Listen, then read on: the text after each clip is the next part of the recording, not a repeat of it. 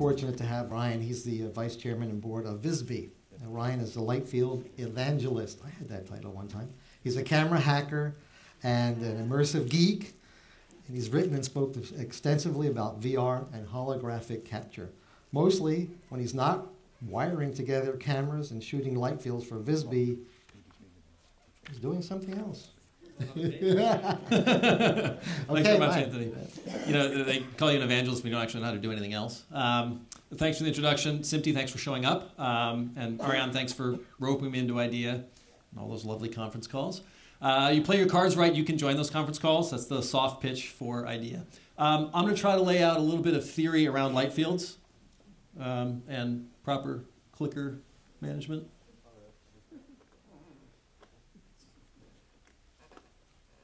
Just got to push the right button, it turns out. Uh, okay, so uh, I think there's a lot of misinformation and confusion around what exactly constitutes a light field. So I'm going to do my best to provide a framework that will hopefully clear it up a little bit, or at least uh, contribute to the confusion in a way that advances my own agenda. Um, we'll talk a little bit about the kind of the theory of light fields, um, and then look a little bit at live action capture, but more from a theoretical standpoint, like how does it happen, uh, but why does it work or not? Um, and then I'll make another soft pitch for the standards body.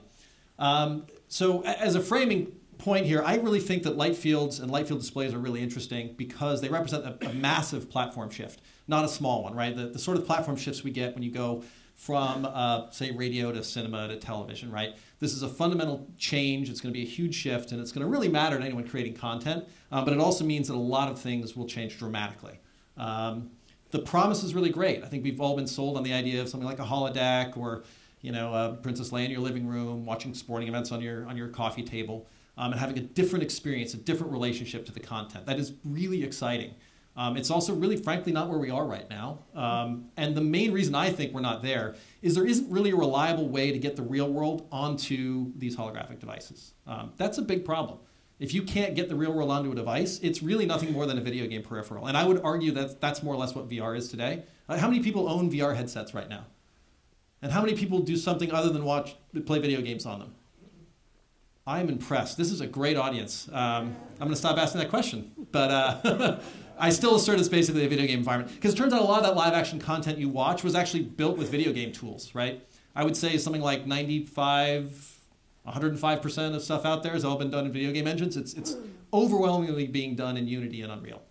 Um, and that's because the tools work, right? They're built for video games, so you can create content for VR and AR and so on using these tools. Um, but that's the de facto standard, and that's kind of a problem because these are not really built as standards technologies. There's some people trying to adapt them, but I think like a, a, maybe a ground up approach might work better. By the way, this is a great venue, but the goats here are enormous.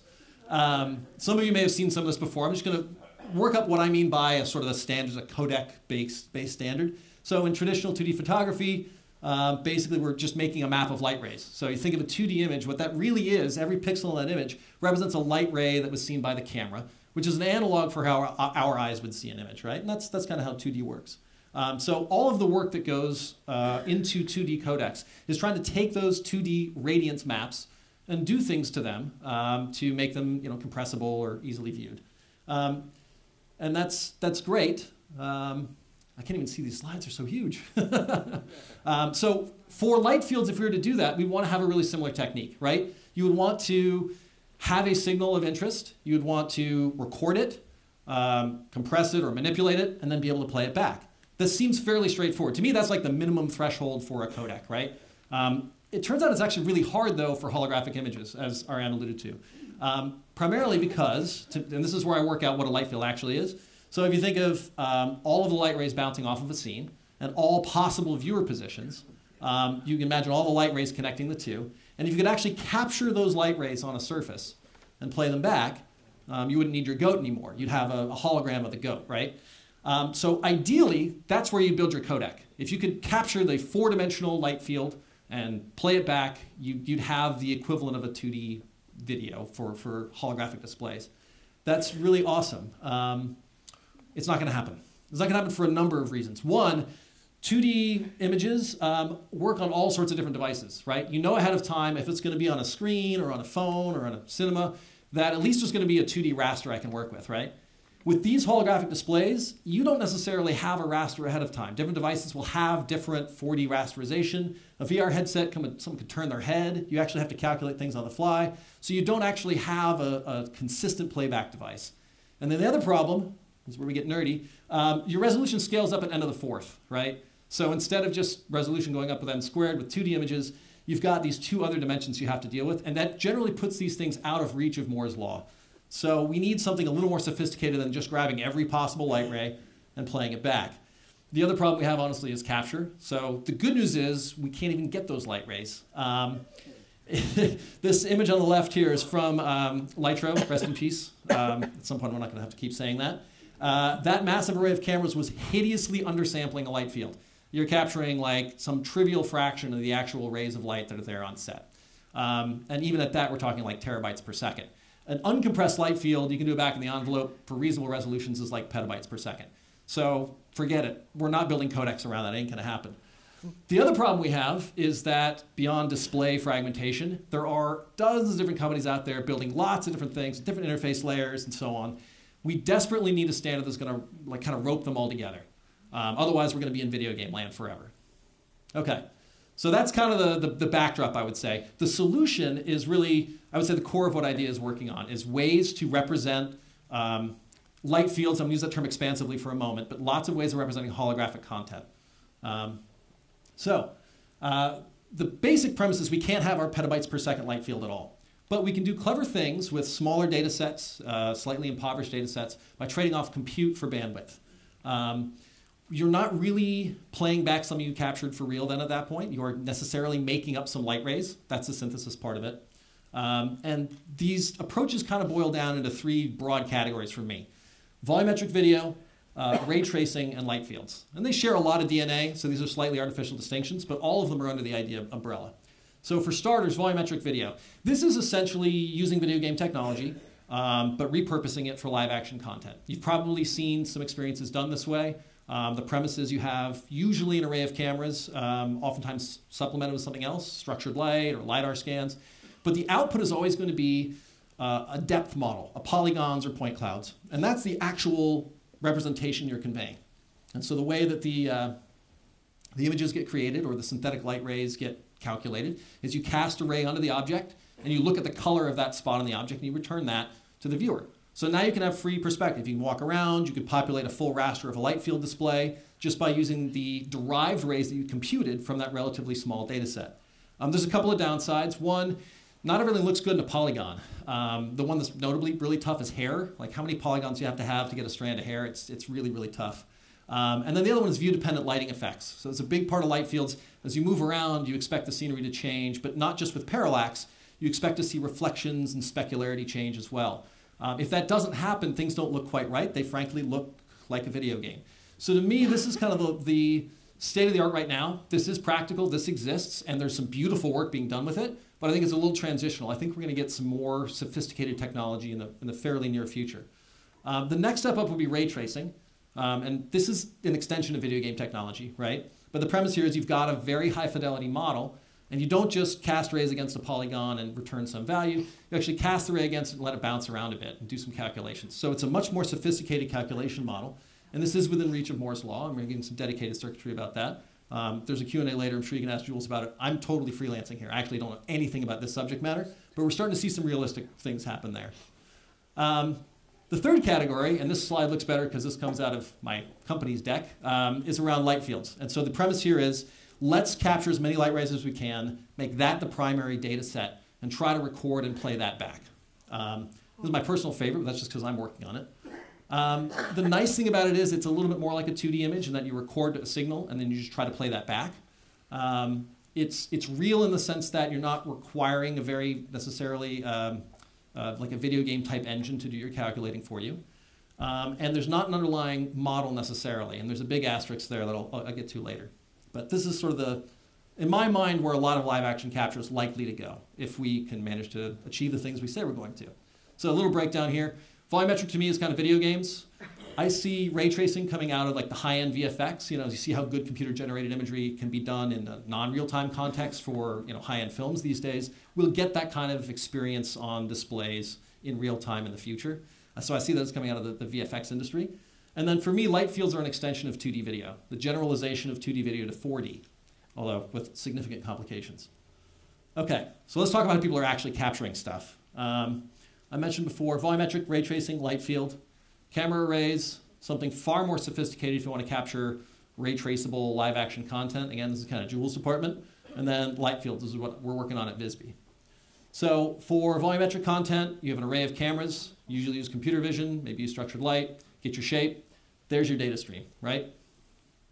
And that works, by the way. There's uh, probably a dozen companies working on this all over the map. You can get live streaming volumetric video today. It kind of looks and behaves like a mature technology. Still assert it's, it's uh, transitional, though. Um, for live action capture for ray tracing, this is much more challenging. I think you're seeing people that are actually digitally modeling things. You know, you get digital artists create the model, but there is live action capture via very large arrays of cameras and strobe lights and so on. And the idea there is if you want to ray trace a model, you don't just need to know the shape, you need to know how that model is going to behave under different lighting circumstances. So you have to actually back your way into some sort of lighting model. If you have that model, ray tracing can be very effective. So I expect we're going to start to see some sophisticated work being done in this department. Um, it's going to be cheap in the future, right, Jules? Like everyone's going to have it? Yeah. perfect. There you go. Yeah. And end of presentation.